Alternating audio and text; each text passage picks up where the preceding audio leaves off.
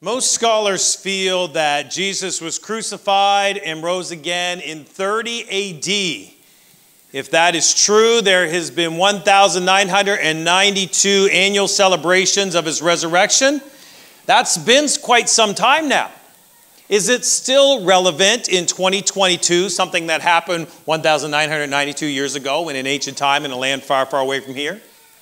Seems like more and more people are losing interest. The Institute of Family Studies, an article from January of this year, according to data collected in April, May of 2020 by the Barna Group, one in three practicing Christians dropped out of church completely during COVID 19. Last June, the AP broke a story about how many houses of worship in the United States have shut their doors forever due to the pandemic. What's worse, church members in the United States dropped below 50% for the first time in 2020, according to the Gallup data collected dating back to the 1940s. For the longest time, it was 70% of Americans were going to church. If the Institute of Family Studies uh, analysts using the American Family Studies suggest, survey suggests that religious attendance has declined significantly in the past two years, the share of regular churchgoers is down six points from 34% in 19, 2019 to 28% in 2021. It seems like celebrating the arrival of spring and getting chocolate Easter bunnies and having Easter egg hunts, uh, that's popular with children. It, I, I've eaten three bags of little Cadbury's chocolates. You know the ones I'm talking about, those little chocolate ones? I've eaten three bags of those this season and I need to go and get a few more before they take them off the shelves. Ever notice how many of our holidays have chocolate affiliated with them? There's Valentine's Day, and there's Easter, and Halloween, and even Christmas has special chocolate. Easter is most definitely relevant to the retail industry. A lot of money is made this time of year. And we have uh, families over, we have wonderful dinners, and uh, that's, that's a nice thing, and that's all well and good. But none of that really has anything to do with Jesus himself, does it? The message of Jesus sometimes gets lost in the marketing. And lots of people are fine with that because lots of people have given up on Jesus. Even the name we use for this time of year, Easter, it's not a biblical term, is it? Some scholars believe the word Easter derives from the old Anglo Saxon word Orster, which means to rise, or it's from the term they used for the spring equinox, Ostra.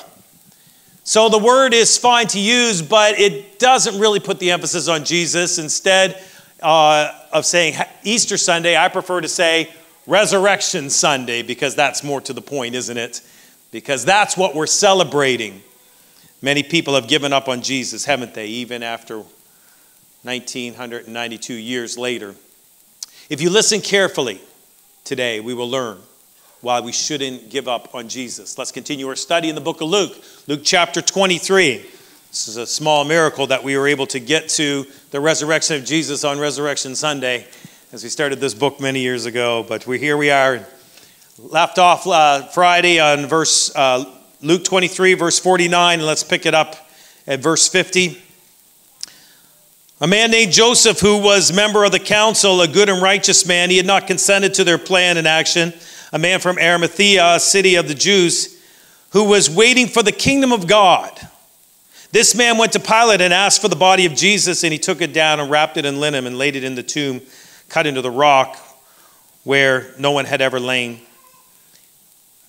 It was the preparation day, and the Sabbath was about to begin. Now, the women who had come with him from out of Galilee followed and saw the tomb and how his body was laid. So they returned and prepared the spices and the perfume and on the Sabbath they rested according to the commandments. Interesting that Joseph is a member of the council, it tells us, a member of the religious leaders, the Sanhedrin. There's 71 people on the Sanhedrin the high priest, the vice chief justice, and 69 general members, supposedly deeply religious, all highly committed to the law and the prophets. Of the 71, only is it said of Joseph of Arimathea that he was waiting for the kingdom here. All along in our study of Luke, I, I, have been concluding that the religious leaders were not interested in the kingdom of God. They, they weren't keen on Jesus and his works and the possibility that he was the Messiah because they were more interested in their own kingdom. They wouldn't acknowledge Jesus because he was messing up their system. I think that description of Joseph here proves my conclusion to be accurate. Only one guy on the council of 71 was truly waiting for the kingdom. The last thing Jesus spoke in the New Testament was, Behold, I come quickly. The instructions he gave his followers to watch and be ready. But it's been 1900 years since that was spoken, and lots of people have given up on the concept that Jesus is coming soon. Like the Sanhedrin, they've gotten a lot of other things to do. They got things to work on, their own kingdoms, and they're not waiting for the kingdom of God. Now, the events that have just transpired might be a good reason for Joseph to give up on watching for the kingdom of God. Jesus, the Messiah, he's dead. And the Sanhedrin were responsible. So, this would not be a politically savvy move to be the only one on the council to attend to his body.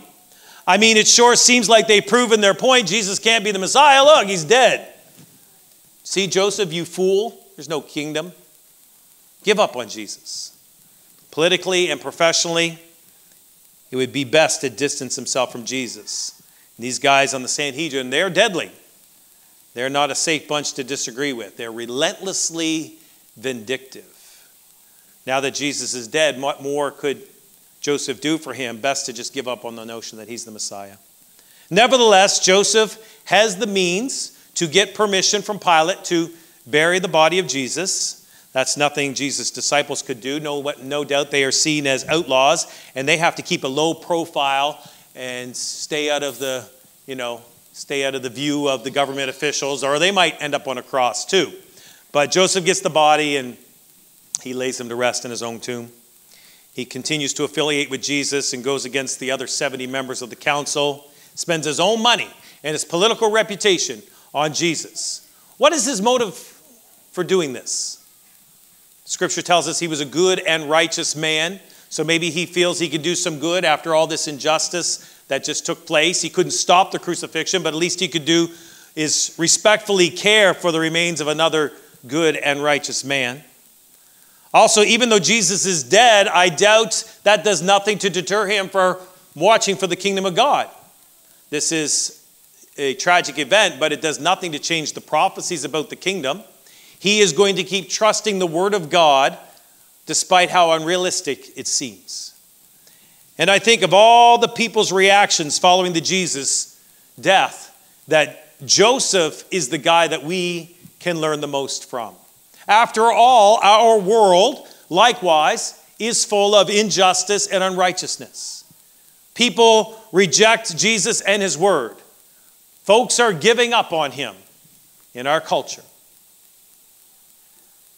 Look around and you see that people have no interest in the kingdom of God. In all of our institutions, we see ungodly actions being promoted, perversion being taught in the schools, defended in the courts, promoted to some of the highest offices of the lands. The Assistant Secretary of Health of our nation doesn't know his, her gender, and that's the kind of confusion that's being endorsed and celebrated by our nation's leaders. People who claim to be believers support the murder of the unborn. And when it comes to rejecting God's word and teaching contrary to what it says, so, so many so called Christian churches are some of the worst offenders of all.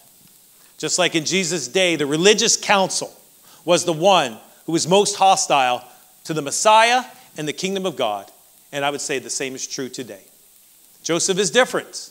And since he's good and righteous, he's watching for the kingdom. And he doesn't stop doing so, even when everyone else rejects Jesus and killed him, and everyone forgot what he said. And I mean, everyone forgot what he said. Look at chapter 24, verse 11. But on the first day of the week at early dawn, they came to the tomb, bringing the spices which they had prepared, and they found the stone rolled away from the tomb. And when they entered, they did not find the body of the Lord Jesus. While they were perplexed about this, behold, two men suddenly stood near in dazzling clothes. And as the women were terrified and bowed their faces to the ground, the men said, Why are you seeking the living among the dead? He is not here, he is risen. Remember how he spoke to you while he was still in Galilee, saying that the Son of Man must be delivered to the hands of sinful men and be crucified, and on the third day rise again. And they remembered his words and returned from the tomb and reported all these things to the eleven and to all the rest. Now they were Mary Magdalene, Joanna, and Mary the mother of James, also other women with them, were telling uh, these things to the apostles. But these words appeared to them as nonsense, and they would not believe them. So when I was studying this, verse 6 and through 8 really jumped out at me. The, the angel said, He's not here, He's risen. Remember how He spoke to you while He's still in Galilee, saying the Son of Man would be delivered to the hands of sinful men, crucified, and the third day rise again. And they remembered His words. Remember? He told you all this when he was in Galilee. Remember? He told you this was all going to happen. And they said, Oh, yeah. So let's think about this for a moment. If Jesus had told his disciples that all this was going to happen, he told them he was going to be handed over, he was going to be crucified, and then it happened just as he said, shouldn't that strengthen their faith? Last fall, I got this really bad case of gout, and I thought, you know what? This, this is good for me because I'm going to change my diet and I'm going to drink lots of water and I'm going to take this pain and learn from it. And I read online all the things you want, you're supposed to eat and all the things you weren't supposed to eat and everything I was eating I wasn't supposed to eat. So, you know, that was hard to back down on that. And I thought, you know, I'll change everything and I'll clear this up in a week. Well, it didn't work that fast. And it dragged on into a month. Finally, as we were heading down to Florida for the big wedding, it had kind of eased up and it was under control. But on vacation in Florida, guess what happened? Yeah, I didn't behave so well, and it flared up again. And I said to Eliana, I can't take this for another month. So I had an online medical call, and the doctor prescribed me some meds, cost me like 10 bucks, and the pain was gone in two days. now I know doctors don't always get it right, but when it comes to gout, they have effective medication and uh, they have a, a, good cure. So I tried the natural and the holistic, and I know prevention, pre- prevention is the best strategy. But when I get a flare up, it feels like someone's sticking a knife into my big toe. I am all about the meds. The doctors were right. And since he was right, I'm more prone to believe him. I think he knows what he's talking about.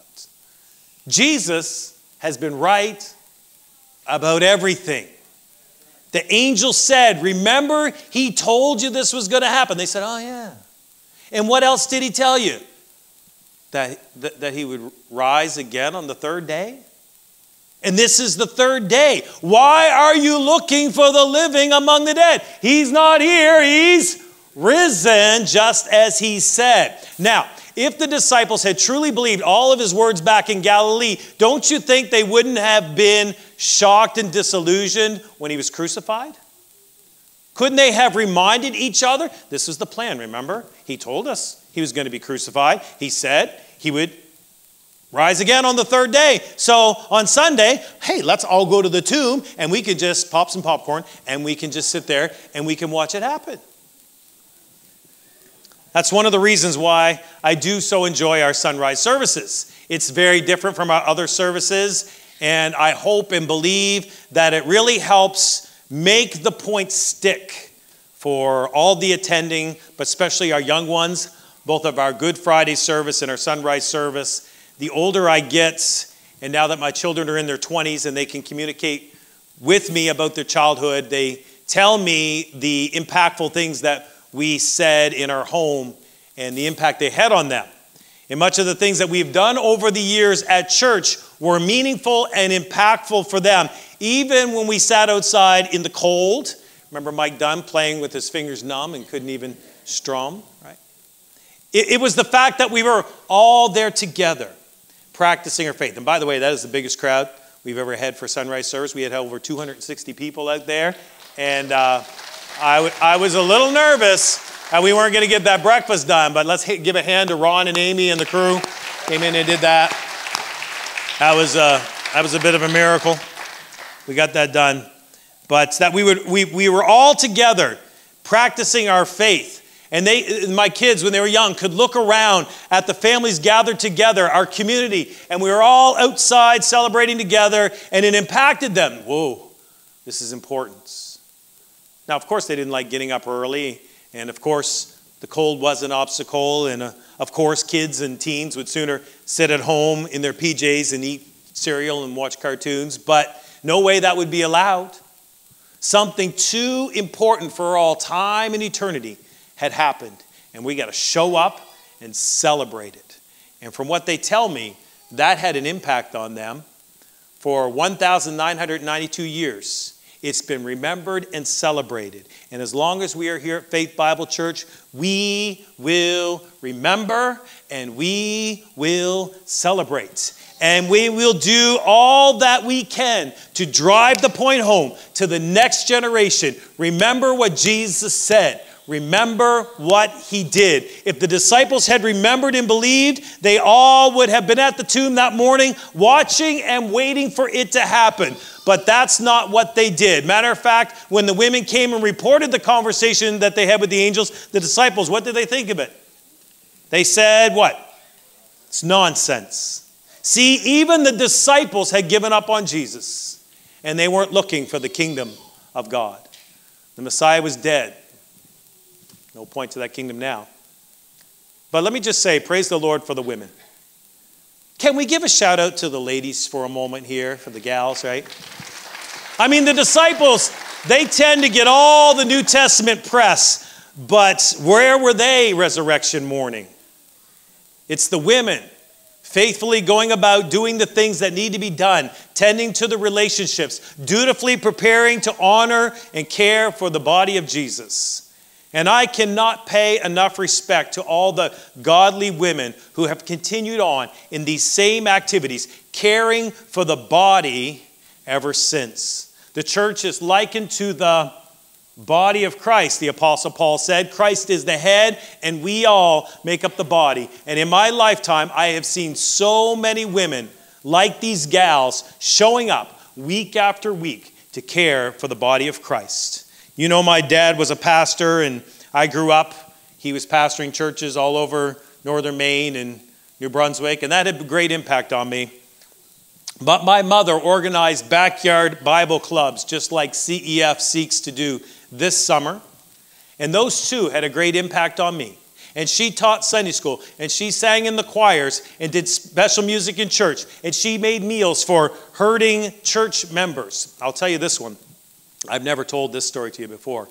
Back when I was in high school, I was the janitor in our little country church, and I cleaned it every day after school because it hosted a, a, elementary Christian school in that building. Anyways, I was cleaning this one day, and a lady, a church member, came in with a rifle, and she asked me how to use it. Now, this does sound a little odd, but remember, I grew up in the country, and everybody had guns. I, at 12 years old, I would take my 22 out to the woods and shoot things without adult supervision. These were different times, people, and some of you, you, you won't even know what I'm talking about.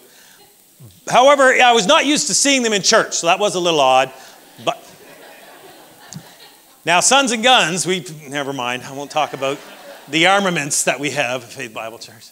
Anyways, I showed her how to use the rifle, and I said, "You're going to kill a dog or something?" And she said, "Yeah." And left. Now, it just so happened that this lady's husband uh, had been caught molesting their foster children.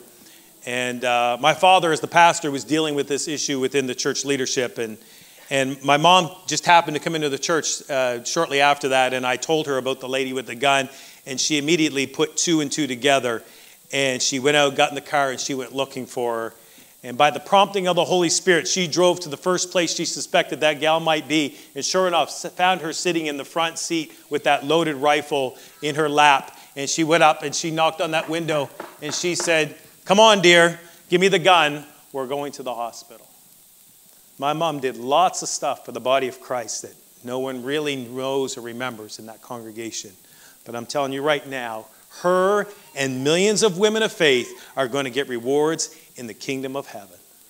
Women who show up faithfully and tirelessly to meet the needs of the body of Christ. We wouldn't be able to keep the doors open if it wasn't for the faithful gals who serve the Lord around here. And all you young ladies, I was talking about the young the young 20 somethings here in the, out, in the, out in the sunrise service. So many of our young ladies, we see you. The church leadership sees you. We see you showing up and serving. And I remember being a small child in Sunday school, sitting on my Sunday school teacher's lap, learning the songs about Jesus and heaven. And I watched my whole life as those ladies, even up into their 80s, ladies in their 80s, were still serving children and I see that same spirit in many of the young ladies who attend here. I'd start naming names, but I wouldn't want to embarrass them and I wouldn't want to forget anybody. But many of our young gals, they keep our ministries operational and they do it, they do as much for that future generation as I do for those kids, their, their witness and their testimony. So the women showed up and they were the first to share the good news. Jesus is risen. Meanwhile, the hard headed disciples thought, that's nonsense. But bless his heart, Peter, verse number 12, always a man of action. He's willing to run and check it out. Verse 12 Peter got up and ran to the tomb, stooping, looking in, saw the linen, wrapping only, and went away to his home, marveling at what had happened. Are there soldiers at the tomb? Well, the last he heard there was, but yet he's willing to risk himself to show up there. Peter's a kind of an act now. Think about the consequence later kind of guy. That's my kind of guy. We'll figure out the details later. You know, let's go. And he goes and he sees the tomb is empty. Jesus had risen from the dead, which means everything he told us was true. He was the Son of God. He did have power over death, and all who believe in him and follow him will inherit everlasting life. Jesus said, He declared to Martha before he raised Lazarus from the dead, I am the resurrection and the life. He who believes in me will live even if he dies. Whosoever lives and believes in me shall never die. He's the resurrection and the life. He's prepared a place in heaven, and one day we will all join him. He will come again and receive us, and he will inaugurate a righteous kingdom on earth. Why would we not remember? Why would we lose interest in such a great message? Why are people falling away from church? It was our intro, remember? I started my intro with that. So, my personal opinion as to why church attendance is going down in America differs from what many other people conclude. I, I, read several articles and opinion pieces on the subject this week, but I didn't read one that agrees with my personal opinion. Do you want to hear my take on the subject? Okay.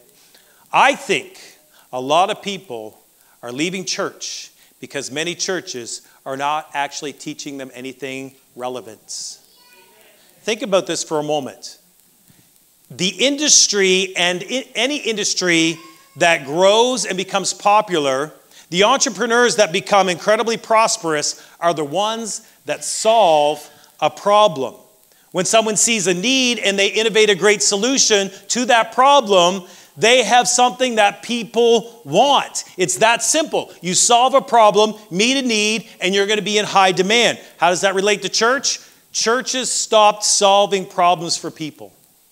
Churches stopped meeting the needs of Americans. They forgot what their essential service was. Churches got into the business of making people feel good about themselves. Pastors write self help books and Denominations adopted strategies to not say anything judgmental. Qualifications of who can and cannot lead have been stripped away. Whatever church was doing that didn't make people feel good was eradicated. Clothes that made us uncomfortable were done away with. Musical styles that bored us were changed. Pews and seats and facilities were upgraded. We'll tell you how to make money. We'll provide you a place to socialize and hang out and make friends. And don't get me wrong, I'm absolutely cool with many of those changes, but here's the thing now we're competing with every other activity in America professional sports, the music industry, Hollywood, community programs, school programs. They all do that stuff too, and many of them do it better than most churches ever could. But the one thing that should never have changed that did change was in trying to make people feel good about themselves, churches stopped dealing with the essential service of helping people out of the bondage of sin. Many churches stop telling people they are in bondage to sin. They just tried to make people feel good about themselves in their sin. Tried to make themselves make them feel good about themselves while they're separated from God. Feel good about themselves, telling them that God would accept them because how could he not? He's a loving God. Many churches offer a form of godliness but de- deny the power. The power, as Paul puts it, is I am not ashamed of the gospel of Jesus Christ. It is the power of God unto salvation to everyone who believes. Salvation to everyone who believes. That's the power. Salvation from sin. Sin is a real thing. It's disobedience to God. You're guilty of a whole bunch of it, and it's killing you. It's destroying your home and your relationships, your health. It's stealing your blessings. You're under a curse, but you don't have to be.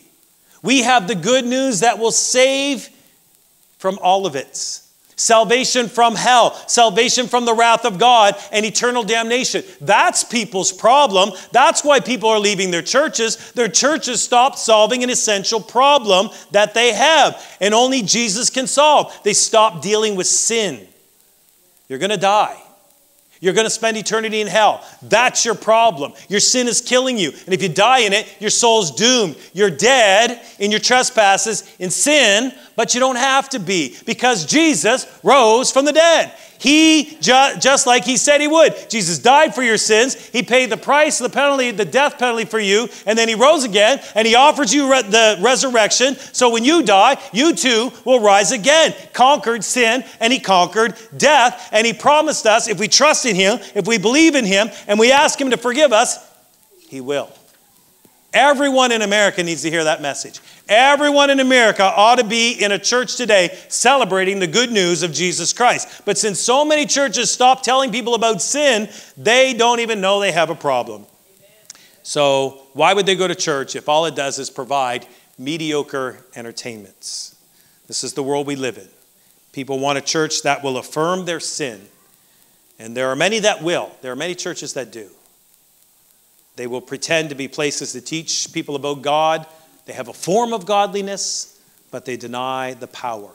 They're ashamed of the gospel message that people need salvation. But that's what people need, not to feel good about themselves. So we must never stop declaring the gospel.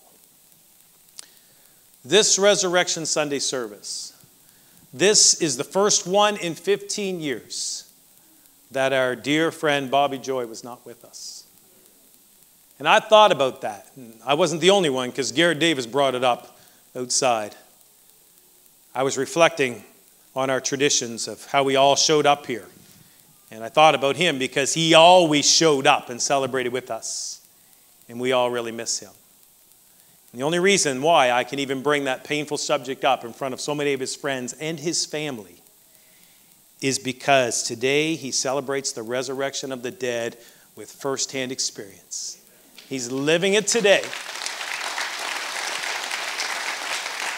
He's celebrating it this year in heaven with our resurrected Lord, and that is why we should never give up remembering Jesus. Everyone's dying and everyone needs resurrection. We know the way, we know the truth, we know how to inherit eternal life. John said, This is the testimony that God has given us eternal life, and this life is in His Son. He who has the Son has life, and he who has not the Son of God does not have life. And we know that, and we know that Jesus is coming back again. Amen. So, just like Joseph of Arimathea, we should keep watching and waiting for the kingdom of God and celebrate it every year. Thank you for being here with us today. Thank you for celebrating the resurrection of Jesus Christ. Lord, we just want to thank you so much for sending your Son to be the Savior of the world. Jesus, we've reflected on how painful and how hard that sacrifice was, and yet, out of great love for us, you gave your life you shed your blood. Your body was broken to save us from sin. And Lord, that was such a horrible thing. That was such a painful thing. Let us not be, be dismissive of sin. It cost you so much, and yet we just want to act like there's no such thing. But Lord, there is, and we all need to be saved from it. And without you, we're all dying and going to hell. And we just pray that everyone would know that, and everyone would believe that, and each and every soul here, and each and every one online that would hear that message would trust in you and receive that hope of the resurrection, just as we hope for our loved ones who passed on, who trusted in you, and they're now in your presence. We long to be there. As we are surrounded by so great a cloud of witness, let us lay aside every weight and sin that easily besets us, looking unto the, Jesus Christ, the author and finisher of our faith. And we glorify you this morning, praying all this in Jesus' name. Amen.